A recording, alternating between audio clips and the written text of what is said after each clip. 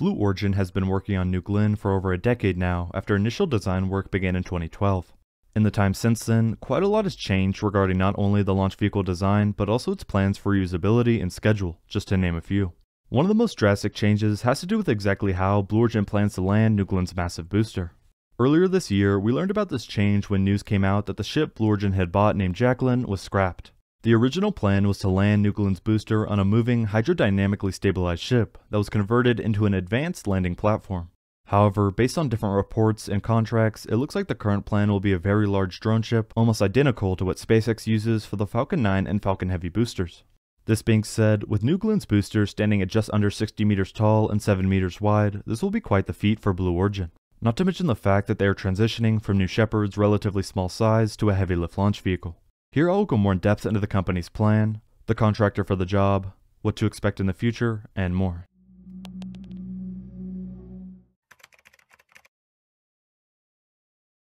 In 2018, Blue Origin bought a former roll-on slash roll-off cargo ship to be transformed into New Glenn's future sea landing platform. Over the next couple of years, up until 2022, the ship had been in port undergoing a refit to prepare for a novel role of landing launch vehicle first stages. The idea being, the boosters were planned to be recovered downrange of Cape Canaveral Launch Complex 36 or LC-36 in the Atlantic Ocean while the hydrodynamically stabilized ship was underway. The ship's stabilization technology was intended to increase the likelihood of successful rocket recovery in rough seas, as well as help to carry out launches on schedule. However, in August of this year, Blue Origin abandoned its plans to use the ship as a landing platform, and the ship was towed to the port of Brownsville for scrapping. As far as why the ship was scrapped and not turned back into a cargo ship, Clark Merritt, port director, highlighted that the process of converting the ship into a landing platform had gone too far to convert it back to a cargo vessel, but did not state why the conversion had stopped. As for Blue Origin's reason, a company spokesperson said at the time, Blue Origin is committed to safe and cost-effective access to space, and after careful consideration have made the decision to transition away from Jacklyn as a landing solution. While this is practically all that was said from Blue Origin about why the ship was scrapped, there are a few reasons we can infer.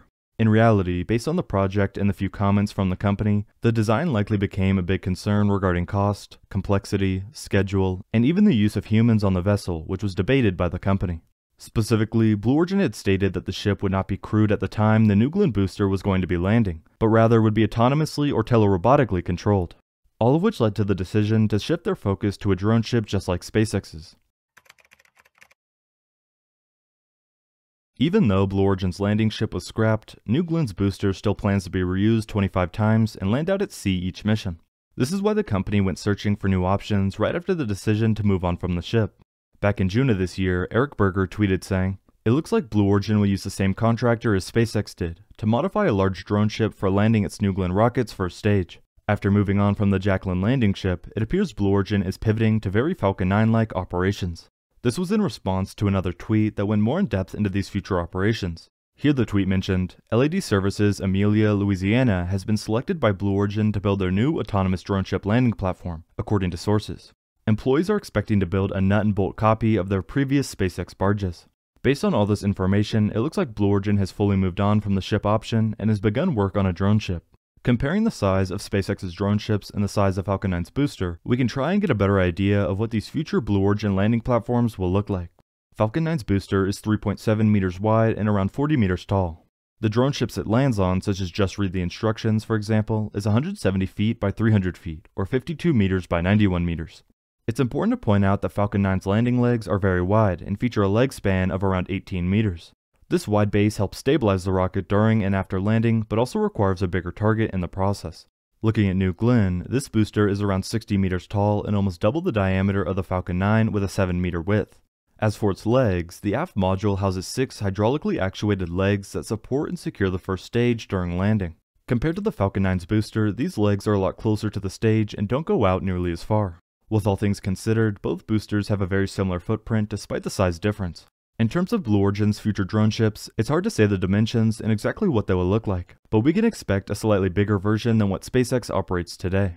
Focusing on New Glenn's mission profile also gives us a better idea.